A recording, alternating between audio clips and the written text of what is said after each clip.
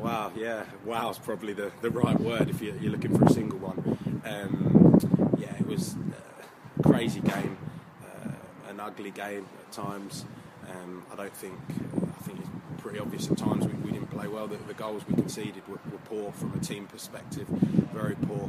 Um, but the positive is obviously one, we've, we've, got the win, which is the most important thing.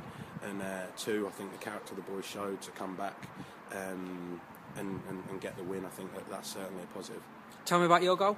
Yeah, it was it was a scruffy one, um, sort of a bit of a gamble. I can't remember who played the long ball, but the managed to uh, edge it past the fullback, and then the centre halves left it. I think he thinks the keeper's coming out, so I've managed to nip between the two and, and poke it through the keeper's legs. So uh, oh, it was a great feeling when it went in. Obviously, most importantly, it gave us the lead again. Uh, but then, obviously, to, to, to, be back here on my debut, my second debut, and score again like I did on my on my first debut was uh, um, a magnificent feeling. All the more sweeter that we, we won the game, and, and, and, obviously it gave us the lead. And how did it feel coming off the bench after just five minutes or whatever? It was? Tiring, tiring. It was uh, literally yeah. Indeed, uh, five minutes into the game, whatever it was. Um, I just sat down, just taped up. Luckily, I put my, pads on and stuff already, and uh, uh, the gaffers just sort of said, "Ease yourself into the game."